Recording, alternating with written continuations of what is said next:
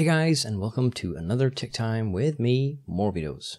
As many of you know, I have recently rebuilt my entire computer with a new case and some new cooling hardware. Exactly what kind of hardware and what kind of case is a topic for another video.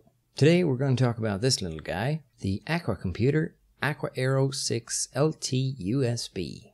The Aquaero 6 USB is a programmable fan controller which means you can control it through software instead of physical knobs on the unit itself. It has four fan outputs that can handle up to 30 watt each, and they're all 4 pin connectors that can be switched between speed, voltage, and RPM control. It has 8 temperature sensor inputs, though it only comes with 4 leads, you can add up to 4 more. It has a flow sensor input and via its Aquabus port you can connect up to two Aquastream XT or Ultimate water pumps. Other than that, this thing has so many features that I would have to make an entire separate video to cover them all. For a full list of features, please check out the Aqua Computer link in the description. Now, let's get down to how I have wired it up and how I intend to use it. As you can see, I didn't really find a good mounting spot for it, so I stuck it here with one screw and some sticky stuff on the other end to hold it. I couldn't remove the standoffs and mount it flush because underneath the PCB there's a connector for a monitor. Yes, you can actually connect a monitor to it. Then the unit becomes the Aquaero 6 Pro. I might do that in the future, but for now I need it because it's software controlled. Now that's how everything is connected hardware wise. Let's jump into the software and have a look at how I've set that up to control and monitor all my temperatures and fans. This is the Aquasuite software. You get this when you buy selected Aqua Computer products and it's not the best looking software out there, but bear with it because it is quite clever. When you start the program, it'll auto detect all supported hardware and list them in this menu. Depending on your setup, it might look different than mine. I have the pump hooked up to the Aquaero via the Aquabus, so mine just shows the Aero, but if I click it, it folds down, and here you can see its vast variety of options and functions. Under pumps, we find my Aquastream XT pump. My pump has a built-in controller that is basically just a miniature version of the Aquaero, but since I intend to do a push-pull fan setup in the future, I need the extra fan connections to run all six fans off one controller.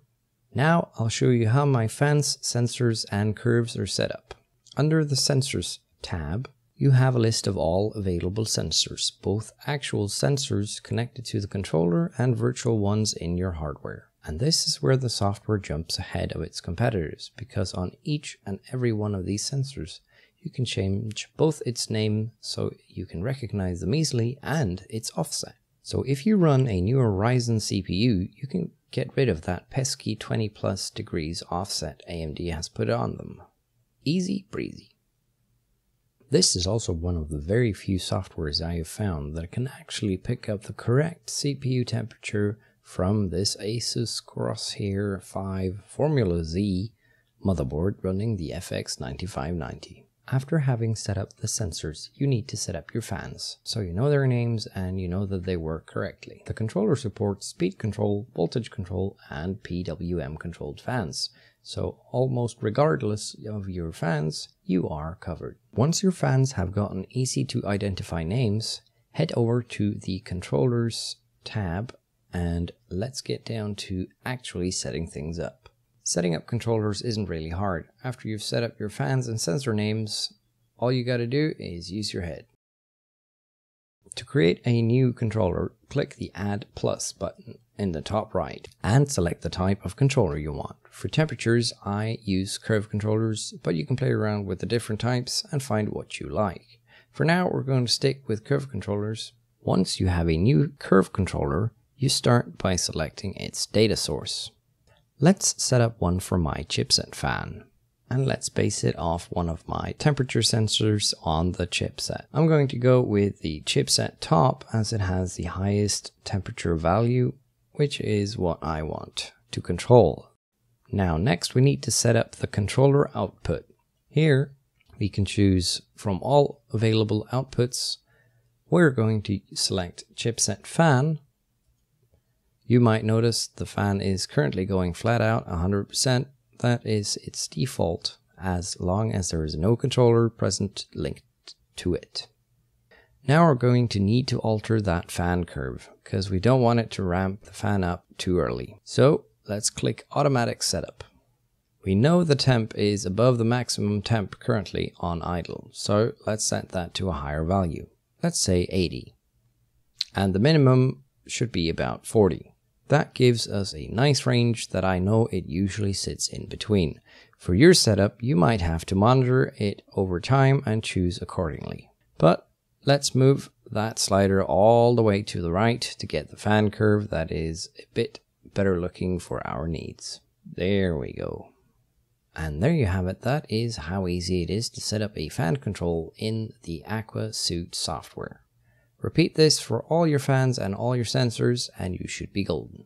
In the overview page, there is a demo page that comes with the software. Even though they recommend you make your own, I find this page to suit my needs with a few small adjustments such as adding the GPU and CPU temp. You can customize this view to make your own with so many options for data views and colors and stuff that you wouldn't believe me if I told you half of it. And I don't even understand half of it myself. It's that complex. But if that tickles your pickle, then you can dive in and make probably anything with it.